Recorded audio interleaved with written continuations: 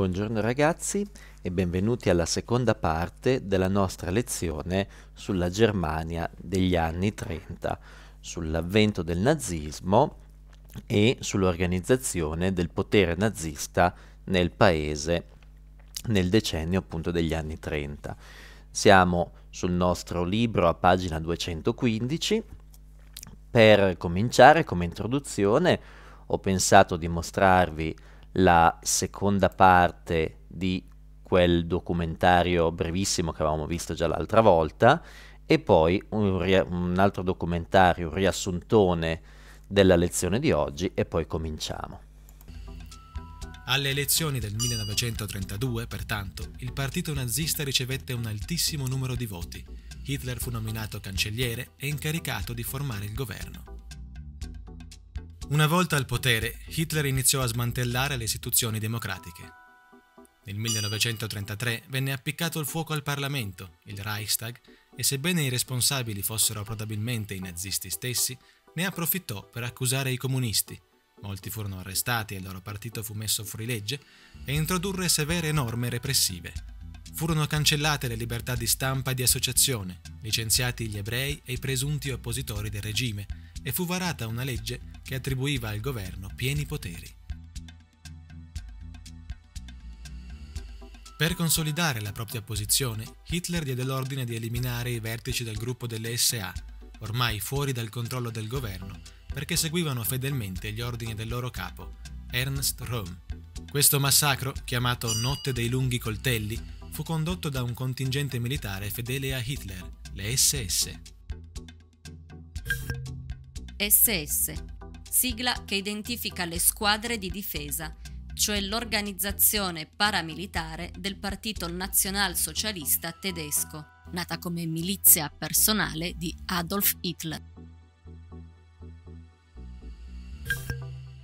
Nello stesso anno, alla morte di Hindenburg, il presidente della Repubblica, Hitler assunse anche questa carica.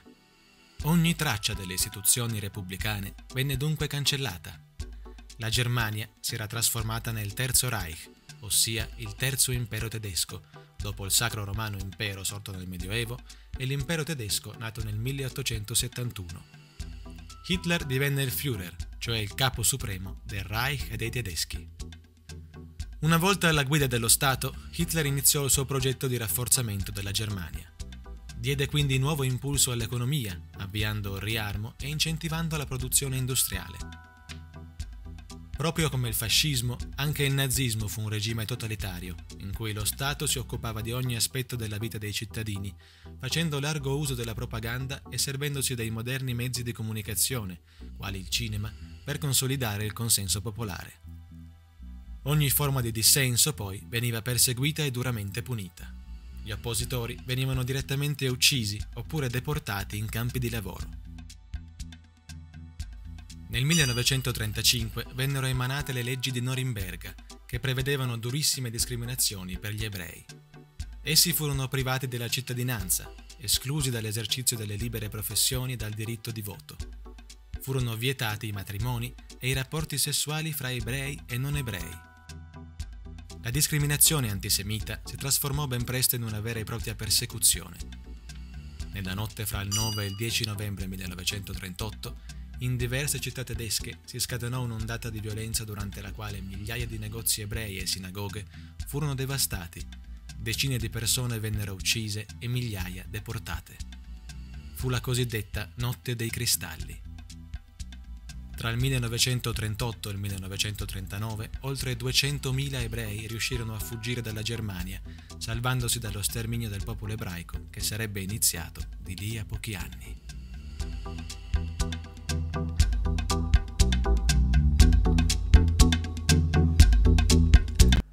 Bene, e adesso, sempre come introduzione, vediamo un altro breve documentario che è proprio il riassunto della lezione di oggi, quindi eh, l'instaurazione del potere nazista nella Germania e poi anche uno sguardo su quello che succede nel resto d'Europa.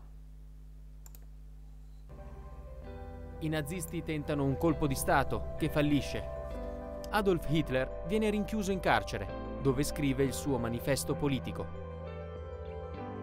tornato in libertà, Hitler prende il potere grazie all'appoggio della destra conservatrice e al consenso del popolo, nutrito dallo scontento per la crisi economica. Hitler trasforma lo Stato accentrando il potere nelle proprie mani e imponendo un governo autoritario.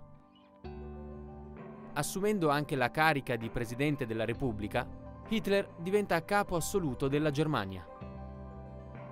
Il Führer vuole preservare la purezza del popolo tedesco, inventandosi un nemico esterno, gli ebrei, emarginati dalla società tramite leggi razziali. Nel 1938 inizia la loro deportazione, assieme a zingari, omosessuali e oppositori politici, nei campi di concentramento.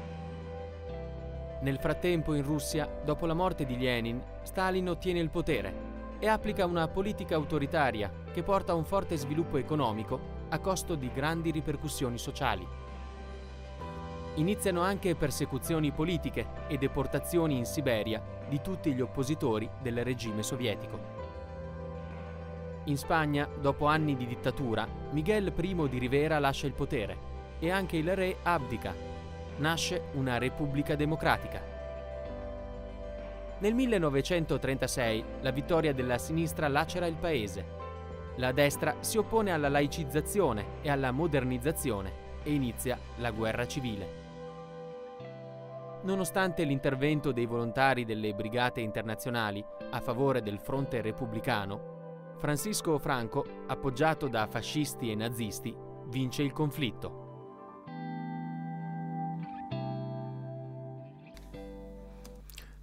Bene, allora, dopo questa introduzione passiamo al nostro libro, ragazzi, vi ricordo siamo a pagina 215 e cominciamo a guardare un po' come eh, si comportano i nazisti al potere. Vi ricordo che nel gennaio del 1933 Hitler ottiene il compito di formare un nuovo governo e comincia a plasmare la Germania secondo la sua visione, quella che avevamo già analizzato quando abbiamo parlato della sua opera principale Mein Kampf. Allora, il nazismo controlla tutta la società, i giovani e la scuola, così come il fascismo, ecco il primo elemento, è il parallelo con il fascismo al quale il nazismo almeno nelle, all'inizio si ispira, anche il nazismo ebbe come primo obiettivo il controllo e il dominio vita te- sulla vita dei tedeschi. I giovani e la scuola, le donne e la religione, il mondo del lavoro e il tempo libero furono disciplinati attraverso un gran numero di istituzioni e organizzazioni che regolavano la vita dei tedeschi. Eh, quindi il tempo libero era molto compresso eh, nella società nazista. Se avevi del tempo libero dovevi dedicarlo a istituzioni, organizzazioni, parate, esercizi ginnici, un po' come era sotto il fascismo. La Hitlerjugend, o gioventù hitleriana, comprendeva oltre, oltre 8 milioni di ragazzi dai 14 ai 18 anni ed erano impegnati per due giorni e mezzo alla settimana. Mm, quindi un bel impegno. Eh, in Italia c'erano i figli della Lupa, l'Opera Nazionale Balilla, le giovani avanguardiste, gli, eccetera, eccetera.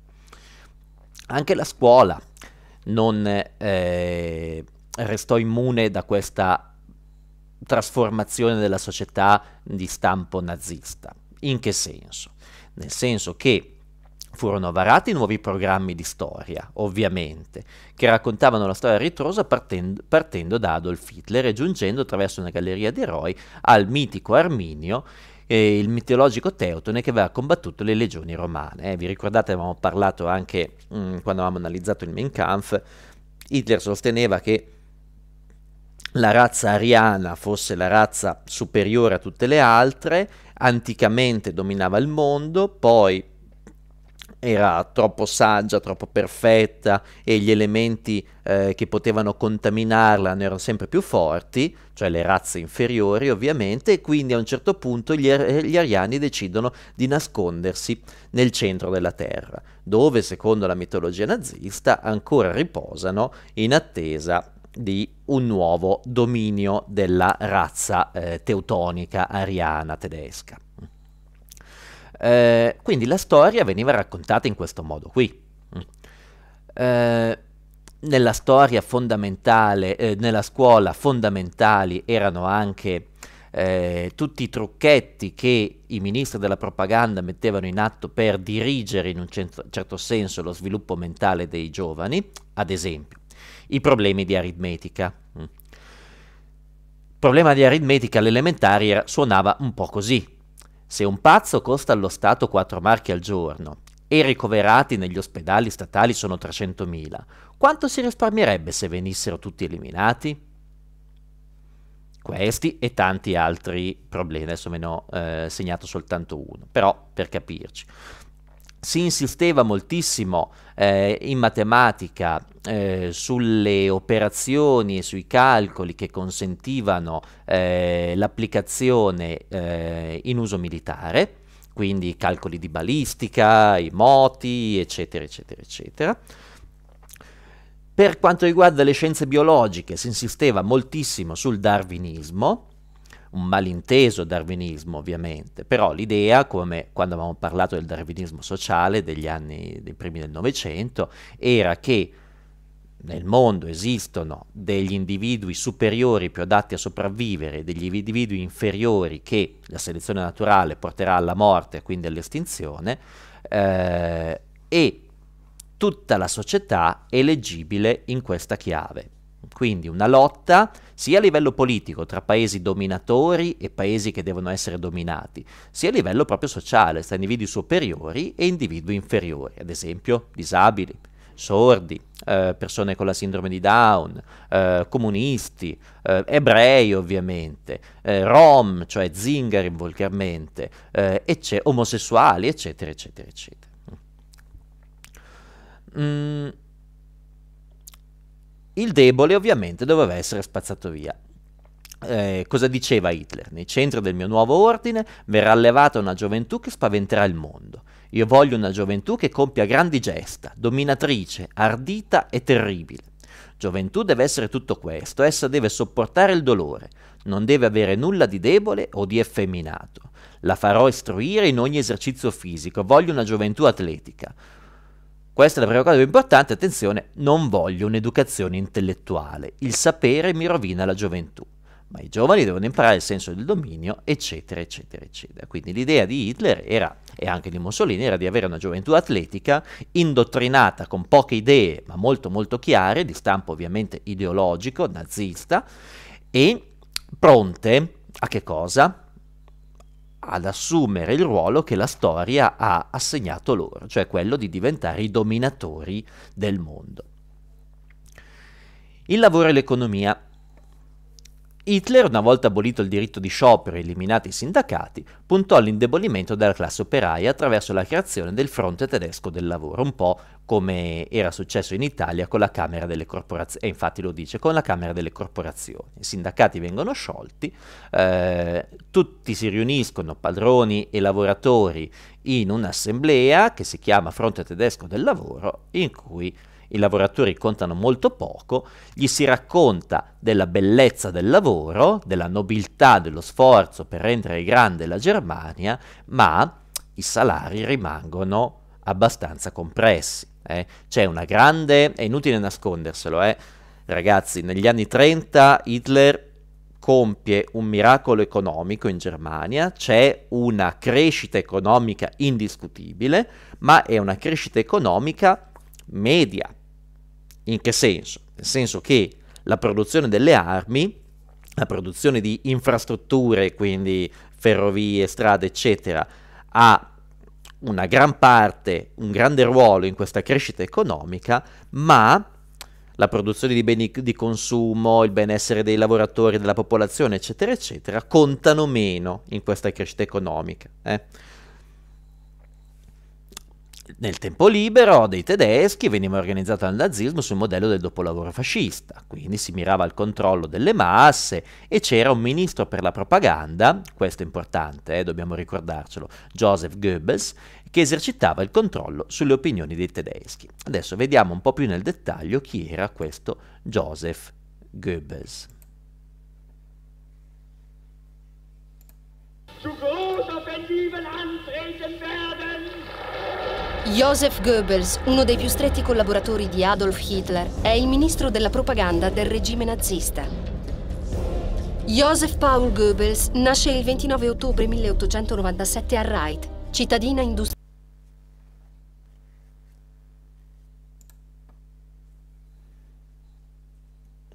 Scusate se è impiantato. Perché mi tradisci? Una malattia contratta durante l'infanzia rallenta la crescita della gamba sinistra, rendendolo zoppo. L'invalidità gli impedisce di arruolarsi come volontario per la Prima Guerra Mondiale. Deluso, prosegue gli studi e si laurea in filosofia all'Università di Heidelberg. Nel 1922 rimane affascinato da un comizio di Adolf Hitler e si iscrive al Partito Nazionalsocialista. Quattro anni dopo è responsabile della sezione di Berlino. Herr Doctor, come viene chiamato nel partito, inizia la propria ascesa. Goebbels si rivela un maestro della propaganda. Riesce istintivamente a mettersi in comunicazione con le masse con straordinaria facilità. Crea il mito del Führer, Adolf Hitler, il condottiero che guiderà la Germania al riscatto dopo la sconfitta nella Grande Guerra. L'abilità di Goebbels e le capacità oratorie di Hitler permettono ai nazisti di raggiungere il potere. Quando Hitler viene nominato cancelliere il 30 gennaio 1933, il fedelissimo Goebbels diviene ministro della propaganda, a 35 anni. Dall'alto della nuova carica, Goebbels raggiunge il controllo di ogni forma di comunicazione della Germania. Utilizza con intelligenza radio, cinema e carta stampata. Crea l'imponente immagine del regime. Organizza monumentali parate che celebrano la forza di Hitler e del partito e costruisce grandiosi apparati scenografici per i discorsi. Inventa e mette in scena cerimonie che colpiscono l'immaginazione del popolo. Su suo ordine, per esempio, vengono bruciati in piazza i libri non conformi all'ideologia nazista. In modo graduale e sistematico costruisce la cultura della razza eletta e l'avversione nei confronti degli omosessuali, dei comunisti, degli ebrei, degli handicappati e degli zingari.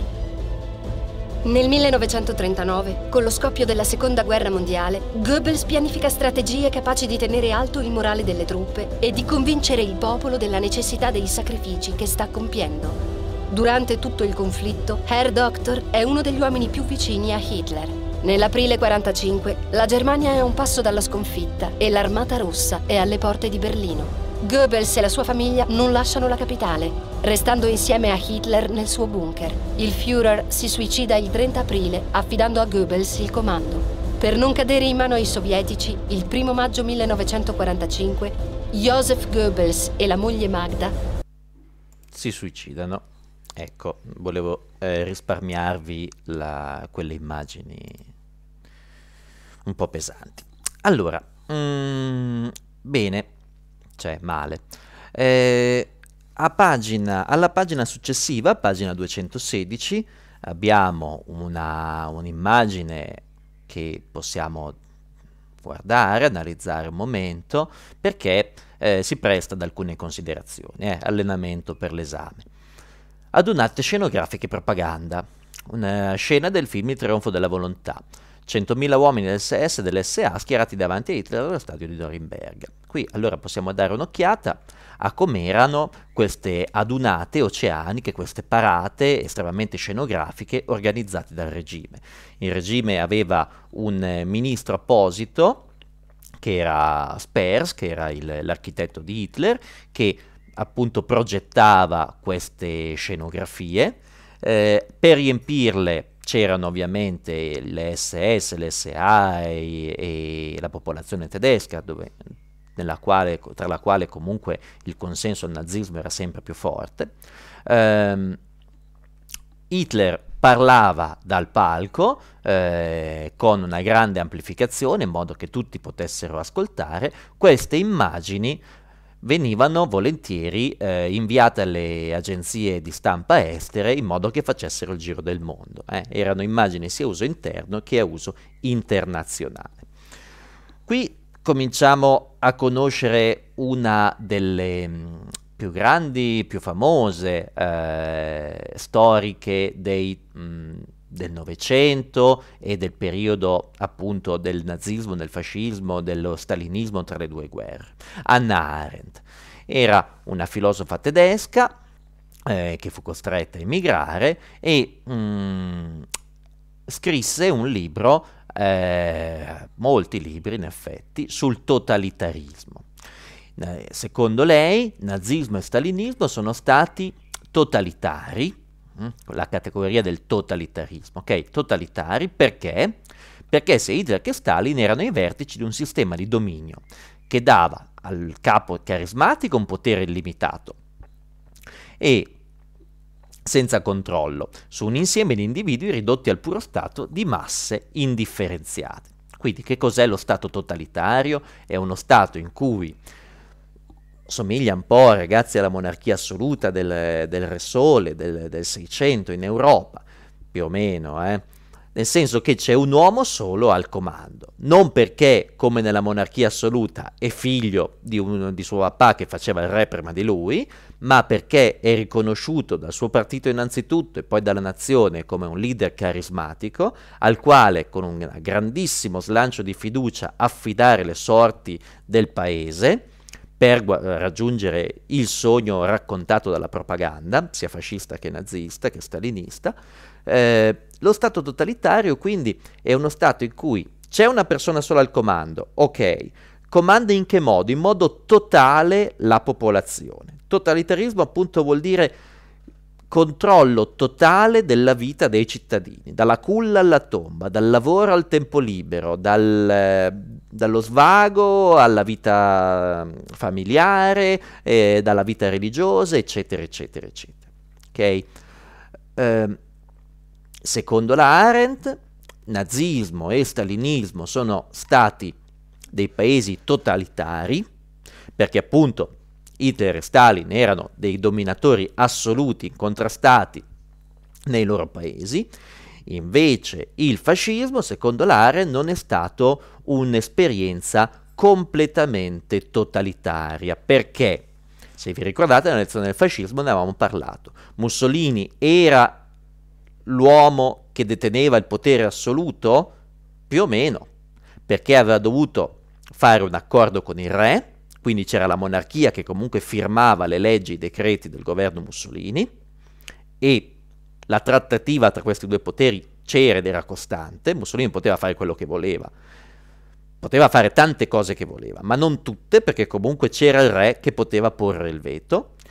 E in più, 1929, concordato con la Chiesa Cattolica, un compromesso con l'altro grande potere eh, italiano. Quindi Mussolini era un dittatore, certo, ma era un dittatore completamente totalitario? No, perché appunto dovuto, era dovuto scendere a compromessi con la monarchia da una parte e la Chiesa dall'altra, che hanno governato insieme a lui per vent'anni.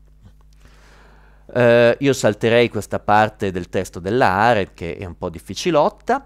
Diamo un'occhiata ai Giochi Olimpici del 1936, che furono un'esperienza comunque in Mondovisione, il primo, eh, la prima Olimpiade, anzi la prima manifestazione eh, trasmessa in Mondovisione. Mm. Allora, eh, del 36 appunto a Berlino furono organizzate le Olimpiadi, eh, ovviamente Hitler se ne servì per propagandare e valorizzare il regime, eh, l'organizzazione tecnica fu perfetta, vengono costruite strade, stadi, eccetera, eccetera, eccetera moltissime persone, 100.000 spettatori, eh, 3.400 sportivi. Ovviamente ci fu una discriminazione degli atleti ebrei, degli atleti di colore, eccetera, eccetera. Ricordiamo le Olimpiadi di Monaco del 36, eh, no, di Berlino del 36, scusate, Jesse Owens. Jesse Owens, che è questo signore qui, che vi mostro, scusate, eh, questo è per dopo. Jesse Owens è questo signore qui, che eh, diede uno smacco ad Hitler perché pur essendo di una razza, secondo i nazisti, inferiore, in un paio di giorni stabilì ben quattro eh, record olimpici vincendo quattro ori. Eh, cos'era? Eh, 100 metri, gli ostacoli, il salto in lungo e non mi ricordo più che cosa. Ok? E questa è la premiazione di Jesse Owen. Vedete che lui sta facendo il saluto militare, ha una corona eh, d'alloro, vediamo se si vede un po' meglio qui,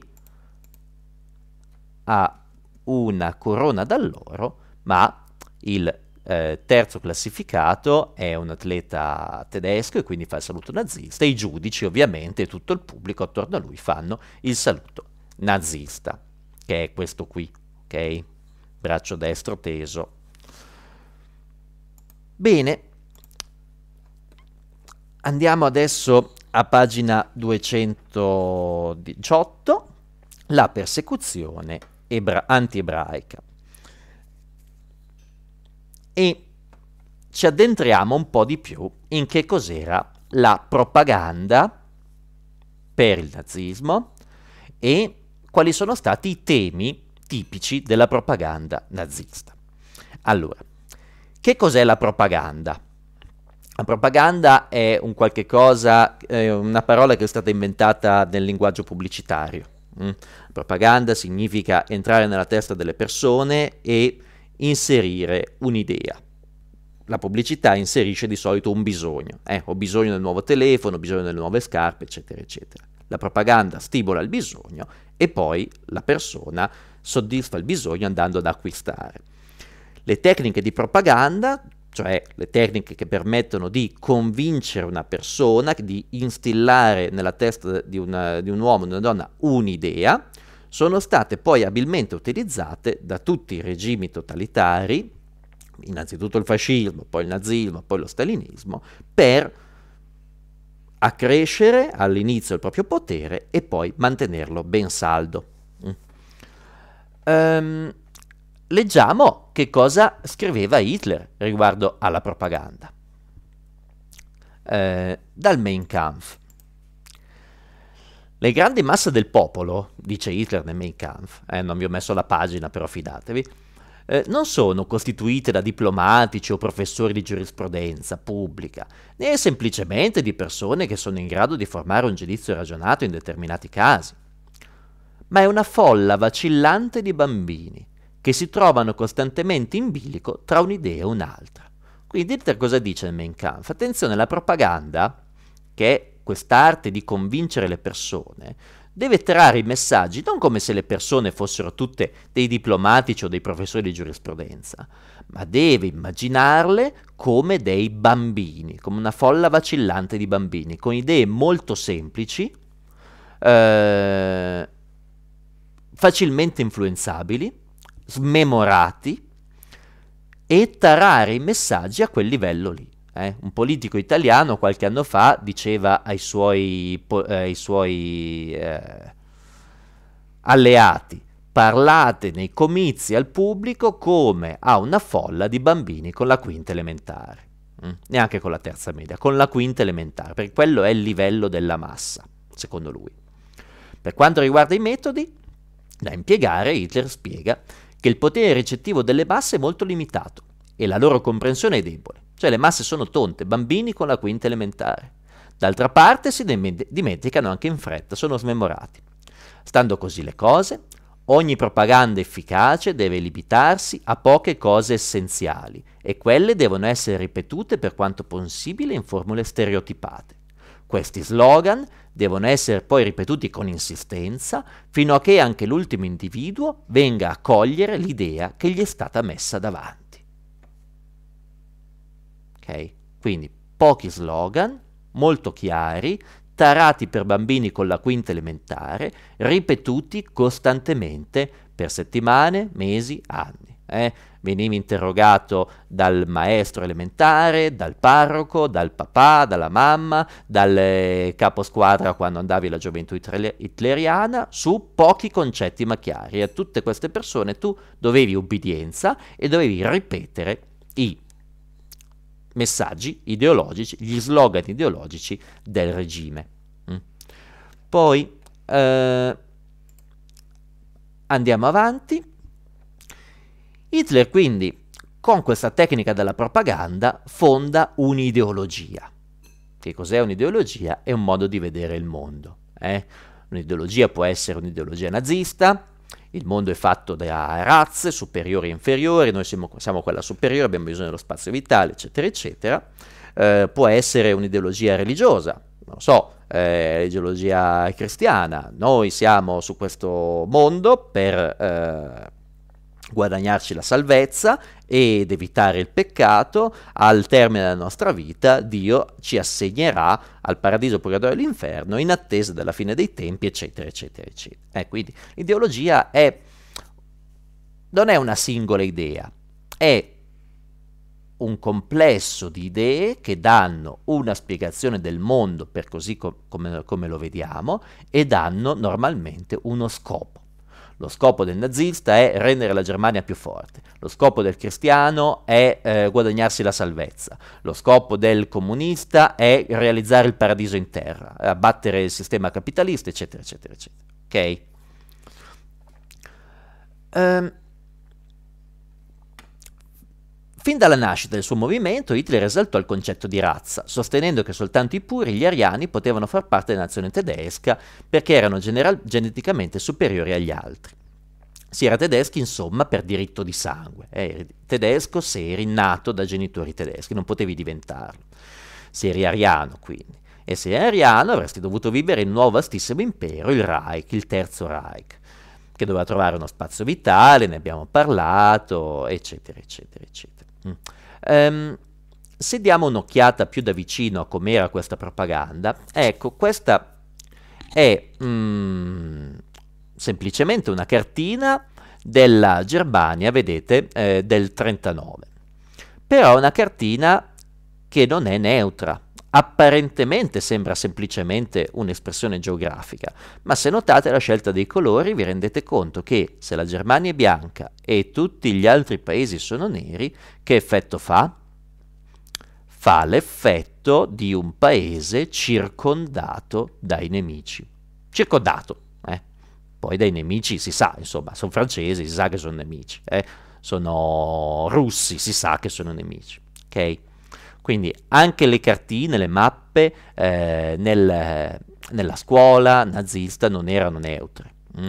Qui abbiamo i soliti posti eh, contesi, eh, la Ruhr, poi tutta la zona, l'Austria è segnata come una zona in cui vivono dei tedeschi, vivono degli ariani e quindi sarebbe giusto che prima o poi anche l'Austria facesse parte dell'impero tedesco perché anche lì ci sono tanti bravi ariani che possono lavorare insieme a noi vi ho preparato poi un po' di manifesti.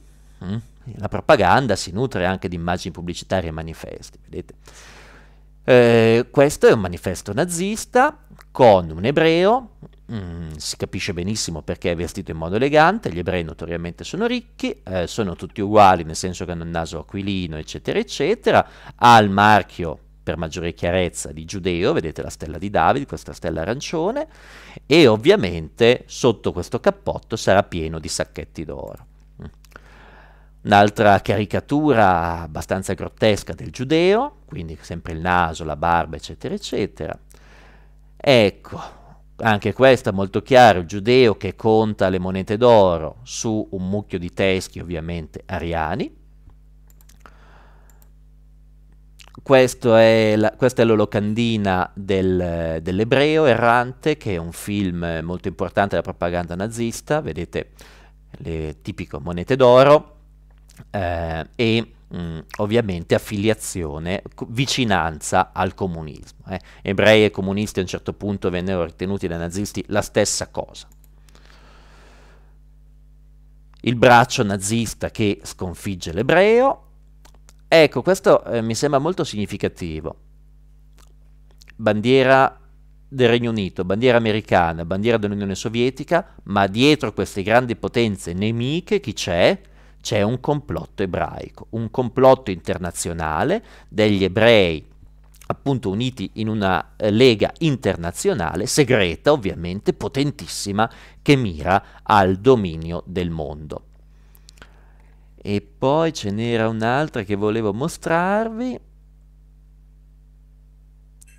Ecco, la solita associazione ebreo-ratto di cui abbiamo già parlato. Mm. Poi, ecco un'altra immagine secondo me molto interessante, che è questa qui, è una mappa elaborata dai nazisti ovviamente, eh, è una mappa razziale dell'Europa. Noi non siamo abituati perché per fortuna questo concetto, questo strumento della razza è stato abbandonato da tempo perché è assolutamente infondato a livello biologico.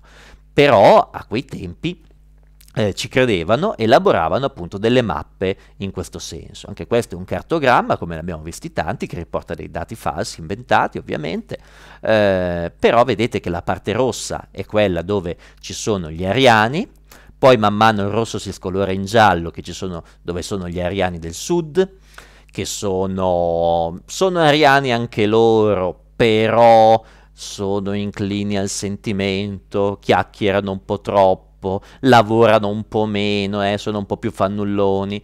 Anche questo giallo poi degrada nell'azzurro, questi sono gli ariani mediterranei, eh, che sono sempre ariani anche loro, ma quelli proprio sono dei chiacchieroni, gesticolano, non, non lavorano mai, eccetera, eccetera. Ce n'è uno, uno che si salva, Mussolini.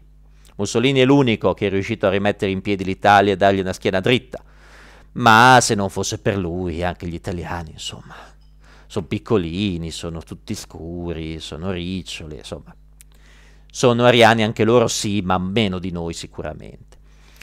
Poi da questa parte ci sono le razze proprio inferiori, gli slavi, infatti qui si apre un corridoio poi per l'avanzata nazista nella seconda guerra mondiale, e ovviamente nel Nord Africa non c'è neanche da parlarne, lì sono una razza eh, come quella degli ebrei, completamente inferiore da um, se, utilizzare se possibile, ma sterminare il prima possibile, prima che possa inquinare il nostro sangue puro tedesco. Mm. Eh, poi ah, volevo mostrarvi c'erano delle immagini ecco Uh, altri manifesti anti-ebraici, eh, gli ebrei si riconoscono, almeno le razze inferiori si riconoscono dal cranio, c'era la, eh, la specialità della casa in quel periodo, era la misurazione del cranio per capire dove fossero i difetti e dove fossero i pregi. C'era l'idea che a seconda della forma del tuo cranio tu sviluppavi di più, che ne so, l'intelligenza piuttosto che eh, la tentazione di rubare. E poi... Mm, basta, direi. Torniamo al nostro libro perché adesso parliamo di Hitler. Mm. Le leggi di Norimberga legalizzano il razzismo. Contro le razze non pu- Ah, qui di fianco vi ho fatto questa, questa piramide, la piramide delle razze. Vedete, gli, in cima ci sono gli ariani eh, germanici, poi gli scandinavi, i francesi e gli inglesi che sono ariani anche loro, ma non tanto, c'è qualcosa che non va nel loro sangue, si capisce, sono democratici, sono persone, insomma, non ci si può fidare. Poi ci sono gli ariani mediterranei, cioè gli spagnoli, gli italiani, i greci, e poi c'è proprio la base della piramide che rimane schiacciata da tutti gli altri, cioè gli ebrei, gli slavi, i neri, i polacchi e i, in generale i gialli, cioè gli orientali. Che cosa succede con queste leggi di Norimberga nel 1935? Eh? Il razzismo contro le minoranze etniche e contro gli ebrei in particolare divenne sempre più intransigente, cioè c'è un giro di vite in questo senso, riguardo alla repressione delle razze inferiori, che non soltanto erano inferiori ragazzi, ma venivano propagandate come un pericolo. Se noi ci mescoliamo con loro e vivendo insieme è possibile che ci mescoliamo, il nostro sangue verrà inquinato, verrà guastato, verrà compromesso da questo incrocio. E allora, e allora i nostri figli saranno ovviamente non più ariani tedeschi, ma dei beticci, dei misti, che eh, saranno l'anello debole della, della, della, nazione. Ma noi vogliamo una grande Germania e quindi non possiamo, questo non lo possiamo permettere. I nazisti consideravano gli ebrei come dei senza patria che potevano contaminare con il loro sangue impuro gli altri popoli, in particolare quello tedesco, erano i responsabili della crisi economica impegnati ad accumulare grossi capitali. Contro la comunità ebraica si scatenarono violenze e culminarono nella cosiddetta Notte dei Cristalli. Questo è da ricordare del 38. La Notte dei Cristalli è, quel, è quella notte in cui i, la polizia nazista distrusse in vari paesi, eh, in Germania, Austria e Cecoslovacchia, distrusse oltre 7.000 negozi rompendo le vetrine e, ma non fu soltanto un atto di vandalismo perché molti di questi ebrei vennero picchiati, imprigionati e uccisi. A proposito del pregiudizio anti-ebraico, vi ho segnato a fine pagina 218 qualche altro elemento della propaganda anti-ebraica, che è bene ricordare. Non tutti inventati dai nazisti, eh. I nazisti avevano attinto a una tradizione lunga, cristiana soprattutto, medievale, ma non solo, eh, anche dell'est Europa, adesso la vediamo. Gli ebrei innanzitutto erano, secondo la tradizione antiebraica, gli uccisori di Cristo, i responsabili della morte di Cristo. Eh, quando Pilato chiede al popolo di Israele chi volete voi che io liberi, Gesù o Barabba, nel referendum, ricordatevi un po' chi ha vinto, Barabba, eh, e Gesù è stato crocifisso. Poi gli ebrei erano accusati di profanare le ostie, cioè rubav- eh, questa è una leggenda medievale, rubavano le ostie nei tabernacoli delle chiese per utilizzarle nei loro riti eh, satanici, demoniaci, eh? pugnalavano le ostie per pugnalare così in quel modo il corpo di Cristo. Omicidi rituali, a un certo punto si diffuse la leggenda che gli ebrei eh, rapivano i bambini per utilizzarne il sangue, impastarlo con eh, del pane e insomma eh, compiere dei rituali magici, ma ovviamente sono tutte balle, non devo neanche dirvelo, spero. Venivano accusati di avvelenare i pozzi, di fomentare le guerre. Molta di questa propaganda si basava su un piccolo opuscolo, un libricino edito in Russia, nella Russia zarista, eh, che si intitolava protoco- I protocolli dei sette savi di Sion che era tutta roba inventata e subito se ne accorsero, un giornale londinese lo smascherò apertamente pochi mesi dopo la pubblicazione, comunque continuò e purtroppo continua ancora a girare. Questo opuscolo sostiene, come vi dicevo prima, che gli ebrei sono una superpotenza oscura mondiale, legati tutti in una confraternita segreta che ha un unico scopo, quello di sovvertire l'ordine geopolitico mondiale e creare un, un superstato ebraico, eh, massonico, comunista, eccetera, eccetera, eccetera.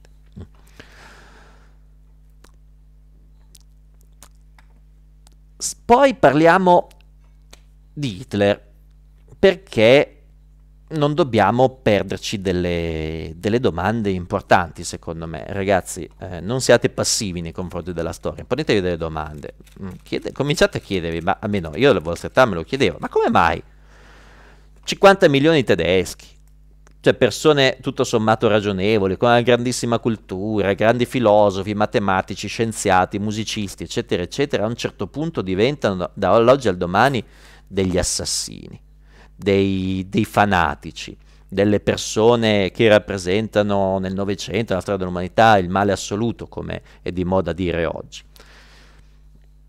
Risposta facile, è colpa di Hitler. È colpa di Hitler che con la sua carica di personalità magnetica, eh, col suo fascino sulle folle, convince 50 milioni di tedeschi a, a impazzire più di lui. Questa è una risposta però molto facile. Mm. È troppo facile dare la colpa a una persona. Mm. Ci fu un sistema alle spalle di Hitler che eh, eseguì in modo molto meticoloso tutti i suoi ordini.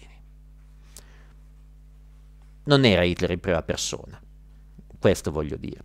E quindi cominciamo adesso a conoscere meglio questo personaggio, le sue arti eh, ammaliatrici, oratorie, di fascinazione delle masse e poi vedremo di approfondire un po' questo interrogativo che vi ho buttato lì.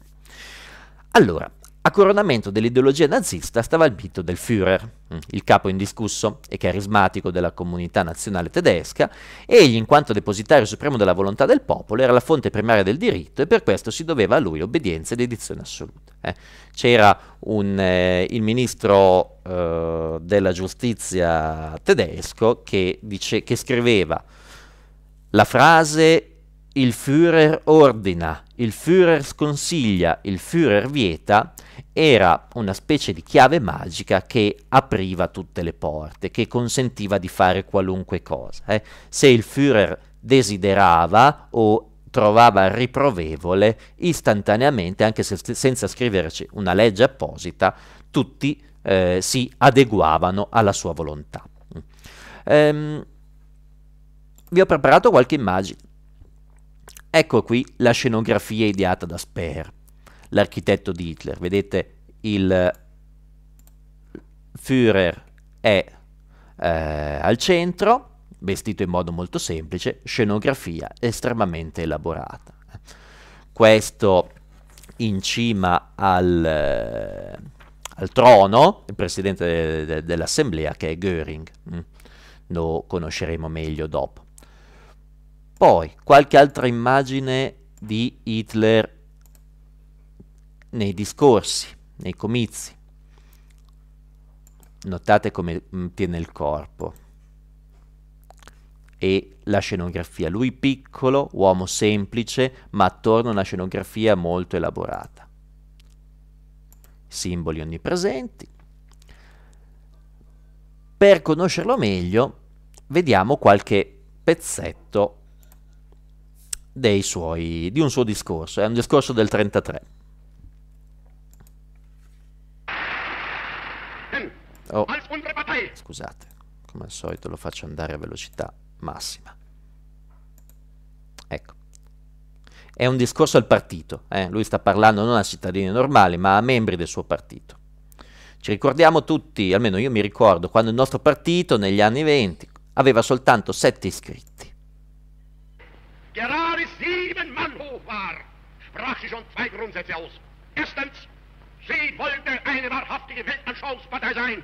Und zweitens, Sie wollte daher kompromisslos die einzige Macht und alleinige Macht in Deutschland. Solo e unico potere in Germania.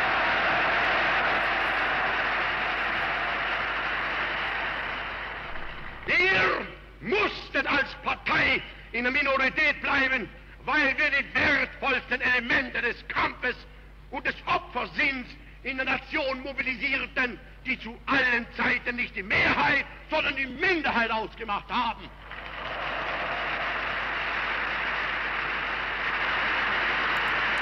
Notate le lunghe pause hm, tra un concetto e l'altro in modo che il pubblico possa assimilare le sue parole, il silenzio che serve per richiamare l'attenzione. Se l'oratore principale sta in silenzio, significa che sta richiamando l'attenzione su di sé.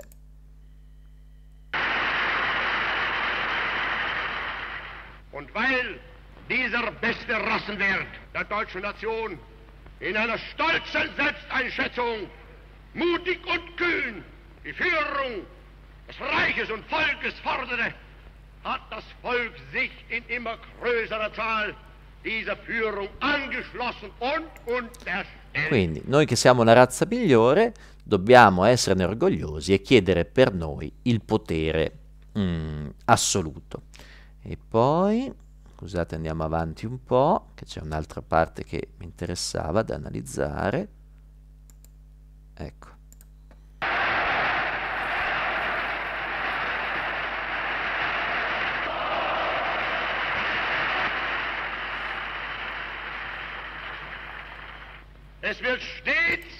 Questo è il vescovo eh, della Chiesa evangelica tedesca. Ein Teil eines Volkes aus wirklich aktiven Kämpfern bestehen. Und ihnen wird mehr gefordert als von den Millionen der übrigen Volksgenossen.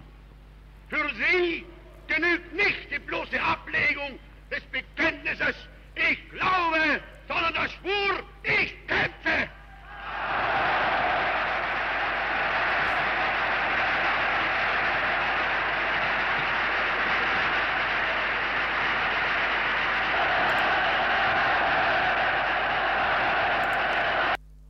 È molto rigido col corpo, è molto chiuso, se notate di solito usa, eh, muove una mano sola.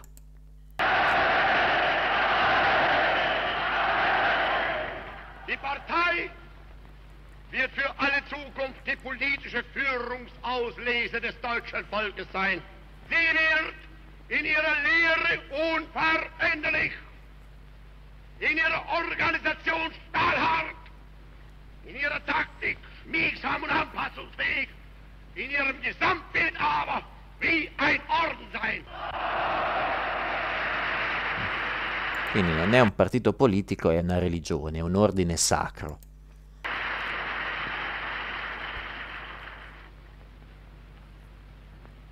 Das Ziel aber muss sein, alle anständigen Deutschen werden Nationalsozialisten. Nur die besten Nationalsozialisten sind Parteigenossen. Quindi tutti i tedeschi sono nazisti, ma soltanto i nazisti migliori possono essere membri del partito.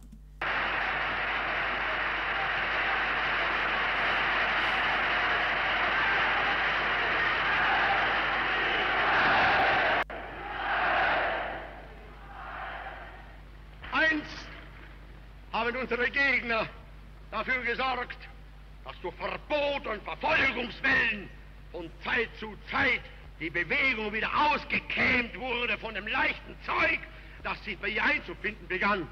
Heute müssen wir selbst Musterung halten und abstoßen, was sich als schlecht erwiesen hat. Und deshalb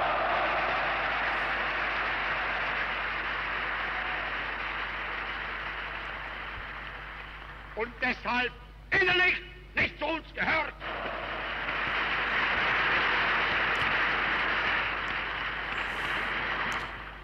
Es ist unser Wunsch und Wille, dass dieser Staat und dieses Reich bestehen sollen in den kommenden Jahrtausenden. Wir können glücklich sein zu wissen, dass diese Zukunft restlos uns gehört. Vedete, possiamo dirci soddisfatti, ora siamo nel 33, è appena diventato cancelliere, ora che il futuro è tutto nostro. Stiamo fondando un Reich, il terzo, che durerà mille anni, che si baserà sulla razza, sul sangue tedesco, sulla dominazione delle razze inferiori e anche sul, su un'idea di pangermanesimo, cioè uno, gra- una grande Germania che racchiuda tutti i cittadini ariani, sia che si trovino in Austria, sia che si trovino in, in, altri stati, non fa niente. Noi dobbiamo espanderci in modo che tutti i tedeschi facciano parte della grande Germania, di questo grande impero millenario erede degli ariani. Ehm, bene, cioè bene, insomma. E questo è un po'... Mm, e questa è la capacità del, di Hitler di, di, affascinare. Io per preparare questa lezione, vi dico la verità, vi, mi sono guardato tre o quattro discorsi di Hitler e devo dire che è estremamente capace come oratore, è affascinante. Se uno non sapesse che tutte quelle idee hanno portato alla seconda guerra mondiale, alla distruzione, alla negazione dei principi democratici, tolleranza, vita civile, eccetera, eccetera, eccetera, direbbe, guarda, mi ha quasi convinto. Mm, moltissime persone di valore, eh, molto capaci, sono state affascinate proprio durante questi comizi e sono entrati a far parte del regime nazista proprio dopo un'esperienza che loro definivano quasi mistica, quasi religiosa, eh, di ascolto delle, dei discorsi del, di Hitler. Addirittura Hitler fu il primo, pensate un po', fu il primo eh, politico mondiale ad acquistare un aereo privato per poter viaggiare molto più velocemente da una parte all'altra del paese e tenere tre comizi al giorno invece che uno ogni due giorni muovendosi col treno. Era instancabile, era un uomo instancabile nella sua opera di propaganda, addirittura era in grado di mantenersi fermo, immobile, con il braccio teso per ore, suscitando lo stupore di, eh, di, persino dei suoi collaboratori che dicevano ma come, come, fa, eh, come fai a tenere eh, il braccio ovviamente teso nel saluto nazista per un'ora, un'ora e un quarto, un'ora e venti per tutta la durata della parata che erano lunghissime? La risposta era semplicemente grande forza di volontà. Le mie idee hanno la meglio sul mio corpo. Ehm, con questo ovviamente eh, non voglio indicarvi Hitler come un modello, eh, voglio solo cercare di analizzare insieme a voi i motivi per cui un uomo eh, che era stato un artista mancato, che non aveva mai avuto un lavoro regolare, che aveva fatto un colpo di Stato, eh, insomma, eh, finito molto male con la galera, eccetera, eccetera, diventa, non a un certo punto, così di punto in bianco, ma diventa, però, grazie a queste, queste capacità, il leader indiscusso di un grandissimo paese. Adesso andiamo a pagina 220 e eh, leggiamo qualche cosina di queste leggi di Norimberga eh, del 35. Sono paragonabili un po' alle leggi fascistissime del, del fascismo. Okay? Eh, le leggi di Norimberga, o le leggi razziali anche del fascismo meglio. Oh, prima di tutto si stabilisce che cos'è un cittadino del Reich, di, della, della, Germania. Un cittadino del Reich è, non è una questione mh, di passaporto, è una questione di sangue. Eh?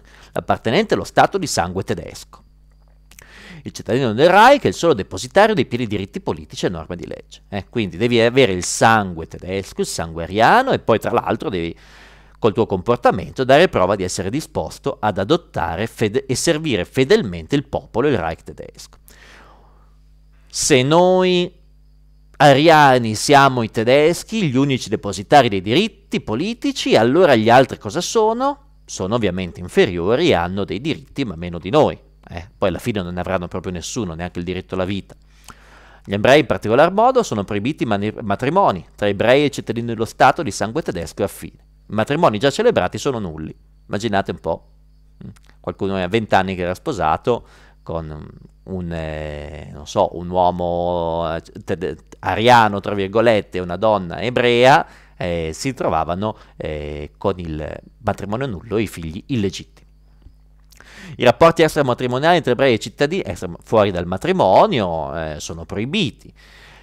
Gli ebrei non possono assumere delle domestiche ariane sotto i 45 anni. Eh. Eh, proibito innalzare la bandiera del Reich e ovviamente le punizioni sono molto dure, eh, il carcere duro, carcere duro, la multa, eccetera, eccetera, eccetera. Oggi, nella Costituzione italiana, se vogliamo fare un paragone, dopo tutto quello che è successo, quindi l'esperienza dei totalitarismi, della seconda guerra mondiale, si è, dec- si è visto che insomma quella strada non portava a cogliere buoni frutti e quindi la Costituzione dell'Italia repubblicana va in tutt'altra direzione, è di segno completamente opposto. Se l'intolleranza e il razzismo ci hanno portato alla distruzione,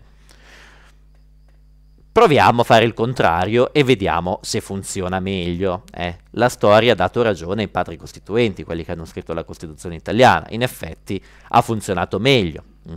Quali sono le idee che hanno funzionato meglio, che hanno dato all'Italia nel bene o nel male 70 anni di pace e di benessere crescente e di diritti in un'estensione crescente?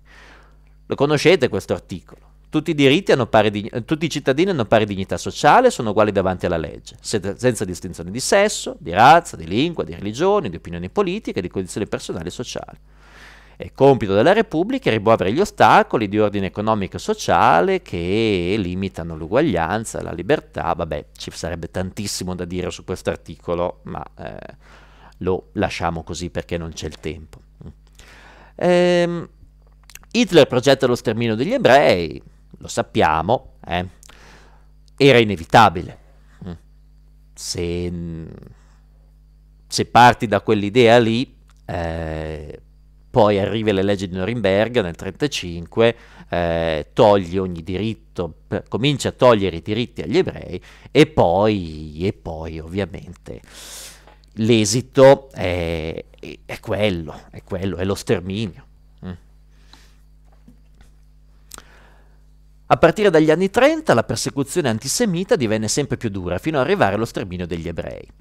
Eh, durante la seconda guerra mondiale si passò dalla semplice esclusione alla loro concentrazione, cioè la deportazione nei campi di concentramento, i lager venivano chiamati, dove moltissimi di loro vennero poi eliminati fisicamente. Il primo fu quello di Dachau, gestito dall'SS, il più noto è quello di Auschwitz, eh, l'avete già sentito tutti nella giornata della memoria eh, dove vennero inizialmente sfruttati questi prigionieri, non c'erano solo ebrei, ma vi ripeto c'erano omosessuali, oppositori politici, zingari, eccetera, eccetera, e vennero sfruttati nelle fabbriche poste all'interno dei campi di concentramento e poi i campi di concentramento divennero essi stessi delle fabbriche della morte in cui venivano uccise, eh, uccisi i prigionieri e, mm, e i loro corpi erano smaltiti in modi efficienti e rapidi. Um, qui a pagina 222 ci sono un po' di immagini che conviene ricordare, alcuni volti che conviene ricordare. Bormann, segretario personale di Hitler, Goebbels, quello abbiamo visto prima, il ministro della propaganda, quello col piede piatto, un po' zoppo. Questo qui è Göring, mm, eroe della prima guerra mondiale, divenne ammiraglio, o come si dice, della Luftwaffe, che è l'aeronautica tedesca. Si uccise in carcere nel 1946. Speer quello di cui vi parlavo prima, l'architetto di Hitler, divenne poi ministro degli armamenti.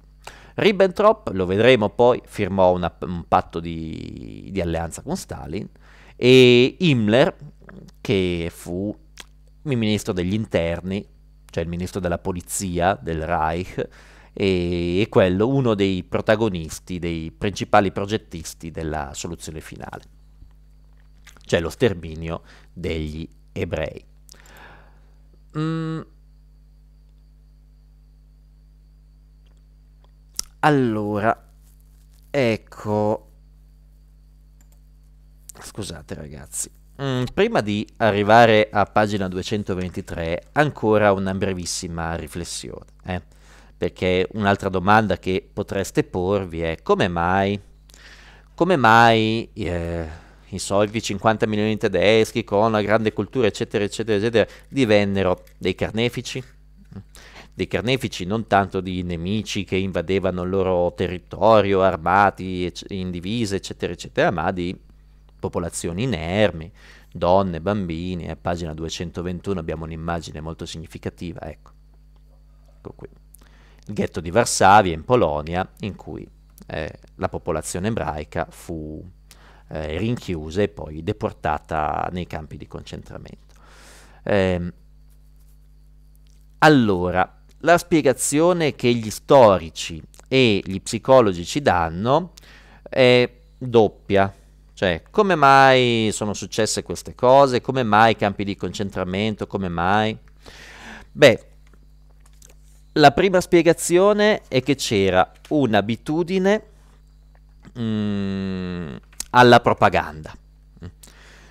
Cioè, eh, dopo anni e anni e anni di slogan ripetitivi e stereotipati, quelli che abbiamo visto prima, in cui veniva individuato un nemico esterno, il nemico esterno erano gli ebrei comunisti, tutti i guai della Germania erano colpa loro e quindi eliminando loro si sarebbe finalmente realizzato un grande paese pangermanico eh, che avrebbe dominato sul resto del mondo, la gente dopo un po' ha cominciato a crederci davvero, soprattutto i più piccoli ovviamente. Gli adulti che avevano già una formazione erano mm, influenzabili, ma i ragazzi infinitamente di più perché non avevano gli strumenti per difendersi dalla propaganda.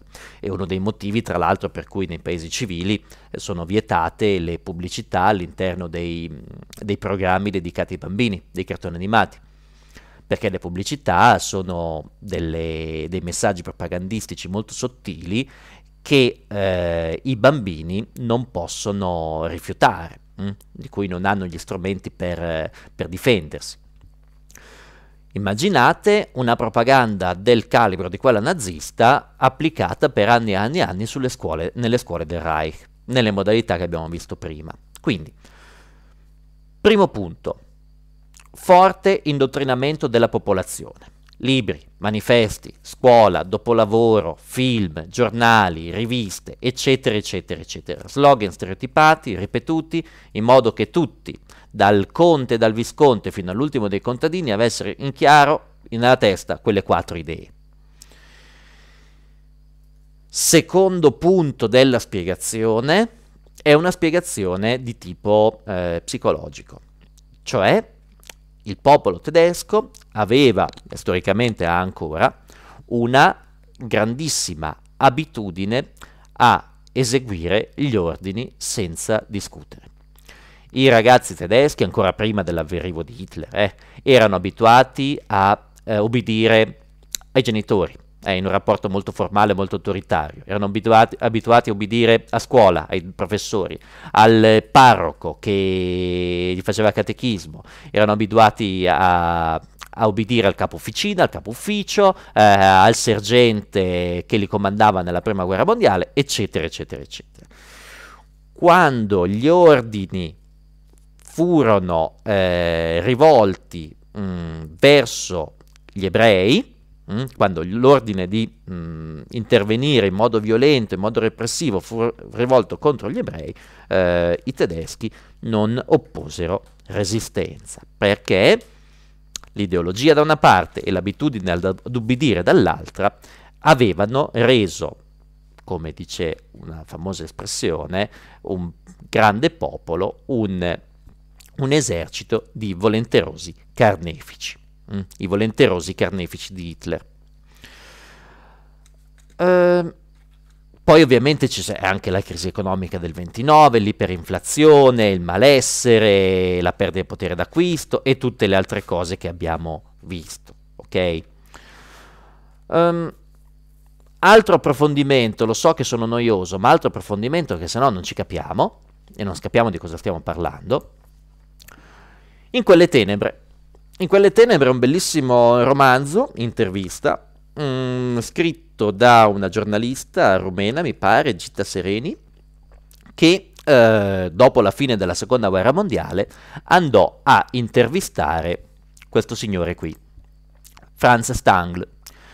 Franz Stangl, che era un militare tedesco, austriaco, era durante la guerra il direttore di due campi di concentramento famigerati, eh, Sobibor ma poi soprattutto Treblinka.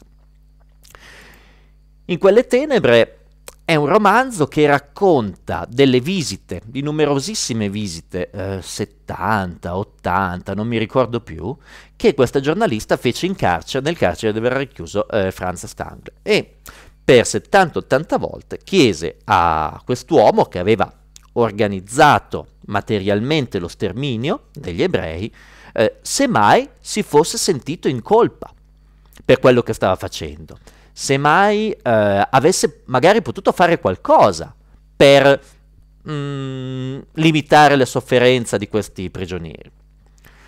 Per 70 volte Franz Stangl non risponde. Dita Sereni dice, ma sta a vedere che questo qui non mi risponde non perché si vergogna di quello che ha fatto, ma perché non ha capito la domanda.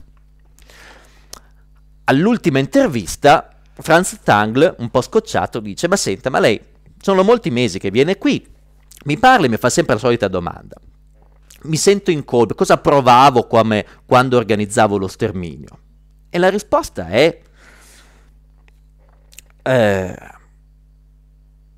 la risposta è agghiacciante. Diceva io non ero incaricato di provare nulla, io eseguivo gli ordini. Io avevo 5.000 prigionieri che arrivavano al mattino, questi prigionieri dovevano essere uccisi, i loro corpi dovevano essere bruciati, le ceneri rimosse.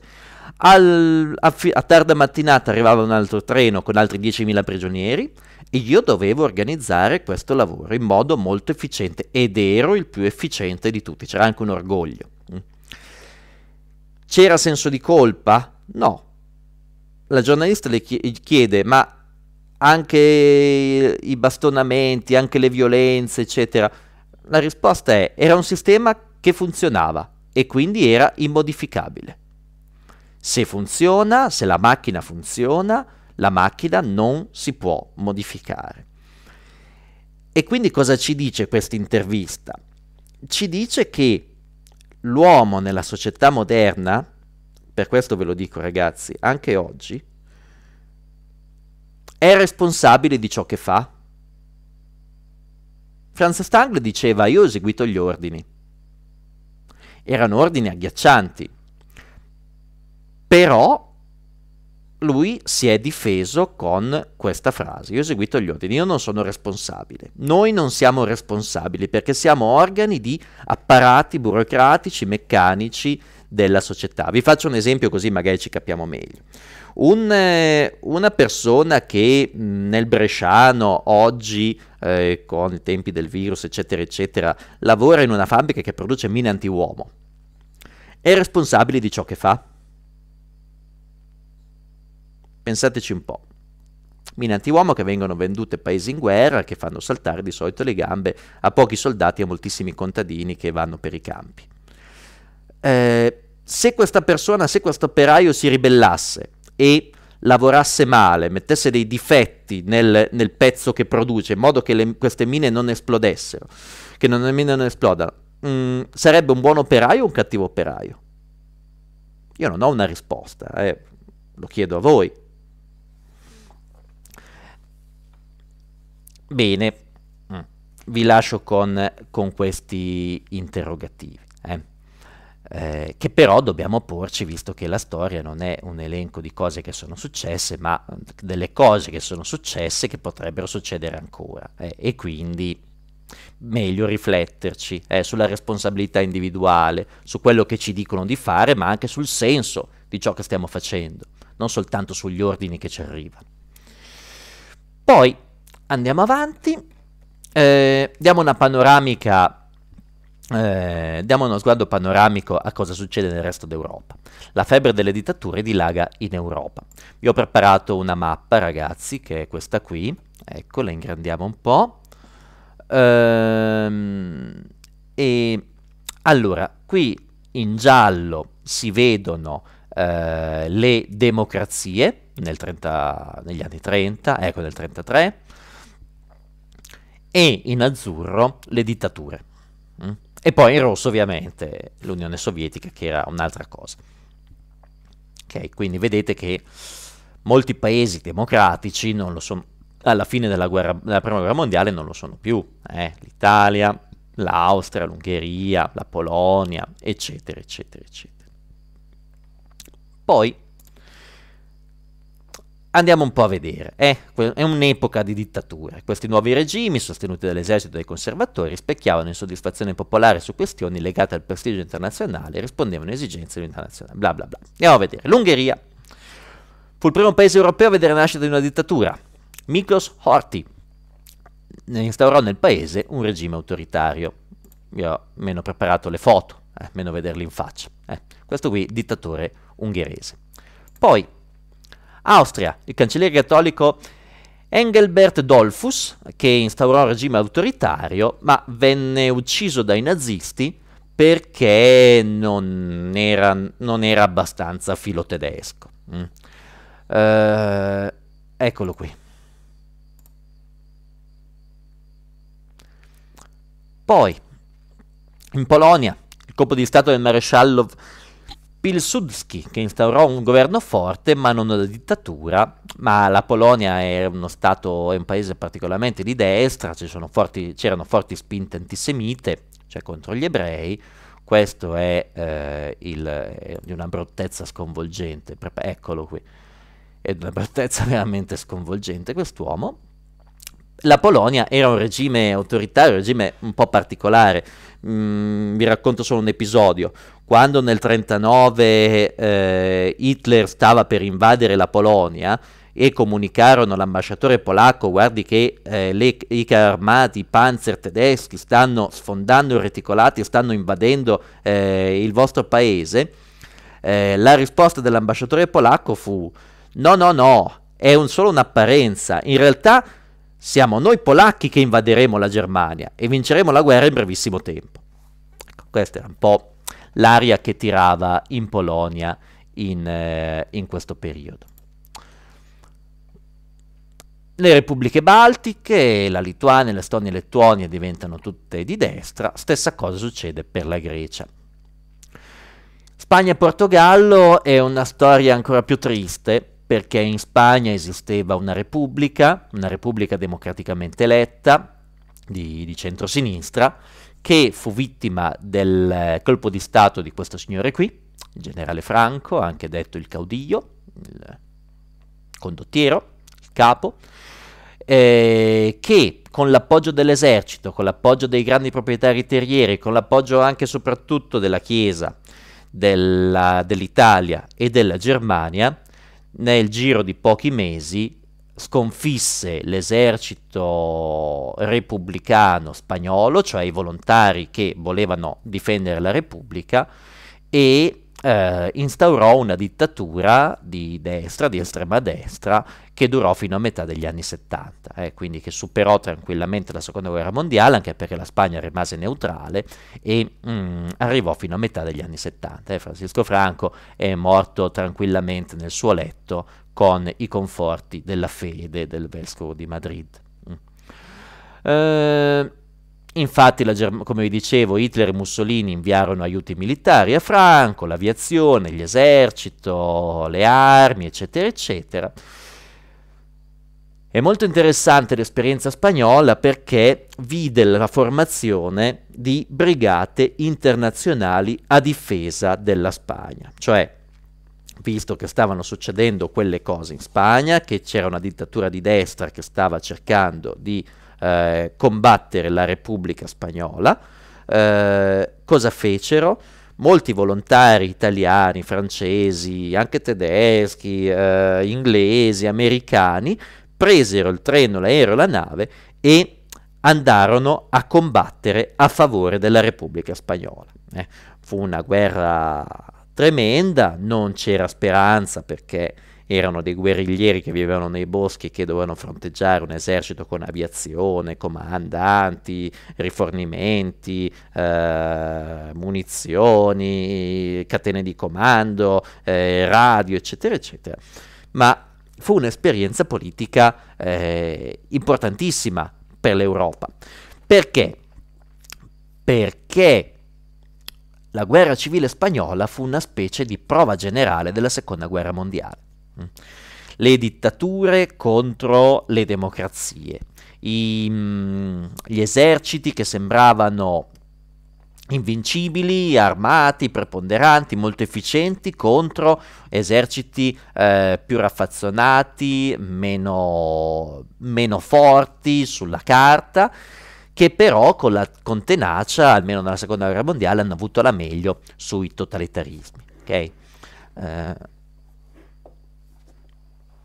Ricordo a questo proposito della guerra civile spagnola, collegamento anche per l'esame interessante con eh, storia dell'arte, Picasso eh, venne a sapere, perché ne parlarono tutti i giornali del mondo, del bombardamento da parte dell'aviazione tedesca di una cittadina, eh, Guernica, una cittadina basca in Spagna, che provocò la morte di moltissimi civili, oltre 2000 civili, soprattutto donne e bambini. Destò molto scalpore perché fu il primo bombardamento non su obiettivi militari ma su obiettivi civili, all'unico scopo di provocare il terrore nel, nella popolazione. Eh, Picasso venne, rimase molto impressionato da questa notizia, come tanti altri alla sua epoca, disegnò in fretta e furia questo, questa tela, è enorme, è 3 o 4 metri, che rappresenta appunto eh, il bombardamento di questa città. Eh, poi se volete lo analizzate con, eh, con, la prof di educazione artistica, adesso non, non, abbiamo tempo. Qui c'è una brevissima analisi. Anche, por- anche in Portogallo mh, mm, nasce un, eh, un, regime autoritario che eh, supera tranquillamente eh, la seconda guerra mondiale, arriva fino agli anni 70. Ultimissima pagina, promesso. Regno Unito e Francia restano a difesa della uh, democrazia, come abbiamo visto prima, erano le uniche grandi democrazie rimaste, oltre ovviamente agli Stati Uniti, ma hanno anche loro le loro gatte da pelare. Eh. Negli anni 20, eh, anzi nel 19, c'è la questione irlandese, eccola qui, vedete, l'Irlanda fino al 1919 faceva tutta parte del Regno Unito, Dopo movimenti di ribellione, terrorismo, eccetera, eccetera, l'Irlanda si stacca dal Regno Unito, rimane soltanto il Nord Irlanda che fa ancora parte eh, oggi del, del, Regno Unito. Tra l'altro ciò dà molti problemi no? riguardo alla Brexit perché il Regno Unito è uscito dall'Europa, ma l'Irlanda no. Ehm, poi, cos'è che vi ho preparato? Ah, ecco. Poi dicevo, e quindi c'è questa secessione mm, del, del, Regno d'Irlanda. In Francia c'è una fortissima crisi economica, i governi di destra non la sanno risolvere, viene eletto Leon, Leon Blum, quello del Fronte Popolare, il Front Populaire, come dicevano ai tempi il Front Popù, che generò grandissimi sogni, grandissime, grandissime speranze in Europa. Eh, fu un governo che durò poco, durò soltanto due anni, ma eh, riuscì a portare avanti delle riforme importantissime, ad esempio il diritto alle ferie, la riduzione dell'orario di lavoro, eh, l'aumento dei salari, eccetera, eccetera, eccetera, cioè delle, eh, dei provvedimenti a favore delle masse popolari e operaie. Come vi dicevo prima, Francia e Inghilterra rimasero gli ultimi due baluardi a eh, difendere gli ideali democratici in Europa. Vediamo almeno che faccia aveva Leon Blum, eccolo qui, leader del Front Popù. Ehm, io vi consiglio ragazzi di guardare per farci un'idea chiara, un po' più chiara. Ho scelto due documentari che poi vi metto in link. Questo è un documentario più tradizionale che mi piace abbastanza, guardatelo fino al minuto 45 perché poi parla della seconda guerra mondiale, eh. fa una bella carrellata su quello che era eh, la vita sotto il regime nazista e la politica nazista. Poi, per i più appassionati, quelli che vogliono approfondire un po' di più, eh, è molto interessante, davvero molto interessante, questo documentario, La grande storia, il nazismo visto dallo storico Norman Holler, che parla, eh, sono due o tre capitoli, mh, mm, parla di aspetti un po' meno conosciuti, ad esempio il fatto che nel corso degli anni venti la Germania diventa il primo produttore al mondo di morfina e cocaina. E a un certo punto viene un'azienda farmaceutica tedesca eh, addirittura inventa un nuovo tipo di droga che si chiama Pervitin, che serve per stare svegli, per essere più lucidi, più efficienti, che a un certo punto inonda il mercato tedesco, viene addirittura inserito nei prodotti come la, la cioccolata fondente, eh, col ripieno di, di Pervitin. Questi sono i due documentari che tra i molti che esistono ho scelto perché sono anche i meno meno pesanti, meno, meno truci, insomma, me, hanno meno scene raccapriccianti che potrebbero turbare i nostri, i nostri sonni, eh? anche se non dobbiamo, non dobbiamo chiudere gli occhi semplicemente perché fanno paura. Ok? Bene, io vi ringrazio per l'attenzione, spero di non essere stato troppo noioso, arrivederci a presto e buona giornata a tutti.